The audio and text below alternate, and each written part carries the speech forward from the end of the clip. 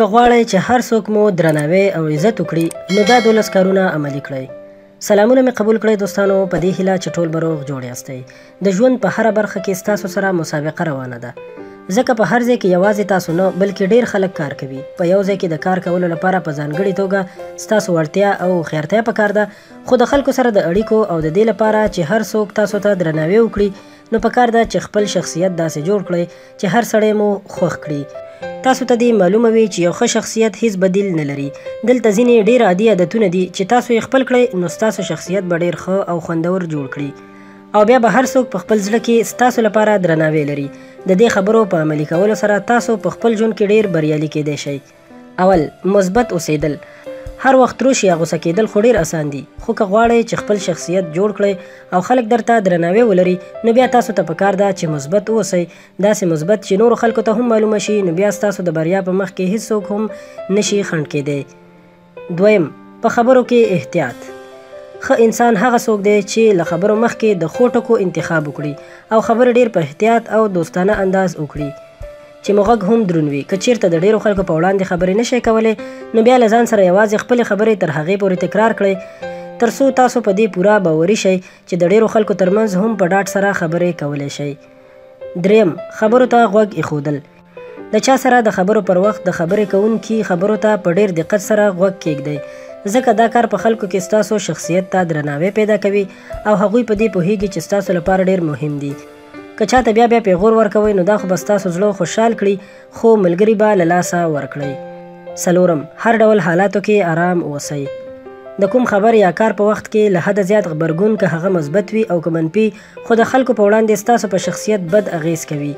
لکه څنګه چې ویل کېږي چې د غوسې پر وخت تر ټولو ښه کار دا دی چې سړی غلی اوسي. پنځم، صبر. که هر کار ته صبر وکړئ، نو تاوان نه وینئ. په حقیقت کې، د هغه خلکو په وړاندې چې بېځایه غبرګون ښيي یا ګام پورته کوي، د هغوی پر وړاندې ستاسو صبر او پر وخت ګام پورته کول تاسو ته ډېره ګټه در رسوي او ستاسو بریا هم په دې کې ده. شپږم، له دایرې څخه ځان وباسئ. کوم خلک چې په یوه خاصه دایره کې له ملګرو سره اړیکې ساتي، هغوی بیا په ژوند او بریا کې هم په یوه خاصه دایره کې پاتې کېږي. که چېرته تاسو غواړئ چې په خپل ژوند کې پرمختګ وکړئ، نو له هر ډول خلکو سره اړیکې وساتئ او هر چا ته د ملګرتیا غېږه ورکړئ. اووم، د خبرو پر وخت موسکی کېدل،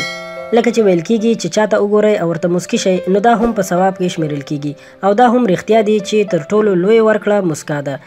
نو چا سره د خبرو پر مهال چې هغه ته موسکی شئ نو د نورو خلکو په زړونو کې به ستاسو لپاره مینه پیدا شي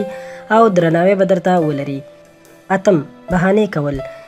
د یو کار لپاره چې بهانې لټوئ او کار پر وخت نه کوئ نو دا ستاسو په شخصیت ډېر بد اغېز کوي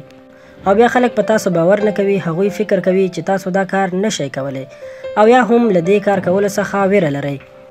نو په هېڅ کار کې بهانې مه لټوئ بلکې هر کار په خپل وخت سره ترسره کړئ. نهم، هره ورځ یو ښه کار کول، ښه انسان هغه دی چې بې له ستمې د هر چا سره مرسته وکړي، دا حتمي نه ده چې تاسو دې ډېرې پیسې ولرئ او یا دې هم پیسې ډېرې مصرف کړئ، بلکې په سړک ولاړ یو ماشوم هم د سړک بلې غاړې ته اړول یوه مرسته ده. همدا راز هره ورځ زموږ په ژوند کې ډېر وختونه راځي چې موږ له یو چا سره په اخلاص مرسته وکړو، نو هڅه وکړئ چې هره ورځ یو ښه کار وکړئ او یو چا سره مرسته وکړئ. لسم، له ناکامۍ درس زده کول. زموږ شاوخوا خلک هغه کس ته ډېر درناوی لري چې د ناکامۍ څخه راوتی وي او بریا یې ترلاسه کړې وي. داسې خلک هیڅکله هم څوک نه خوښوي چې هر وخت د مرچکو په سټه ناست وي. د نړۍ په هره برخه کې ناکامي شته او د پرله پسې ناکامیو وروسته هم انسان بریالی کېږي. نو له خپلو ناکامیو زده کړه وکړئ او خپلې تېروتنې اصلاح کړئ، نو بریا ته رسېدل درته اسان دي. یوولسم، په خلاص زړه د نورو ستاینه وکړئ. که په خلاص زړه د نورو خلکو د ښو کارونو او ښو عادتونو ستاینه وکړئ، نو د هغوی زړونه به خپل کړئ که د بل چا ستاینه کوئ نو داسې ستاینه هم مه کوئ چې هغه یې وړ نه وي ځکه چې له دې هم داسې ښکاري چې تاسو د هغه په کار یا عادت خوښ نه یئ نو د هر چا د ښه کار او ښه عادت ستاینه خپل عادت وګرځوئ خو تر خپله حده دولسم بریالي خلک تل د هر چا په زړه کې هم نه اوسېږي او که چېرته هغوی مشهور وي نو وجه یې دا وي چې هغوی د خپل هر څه خیال ډېر ساتي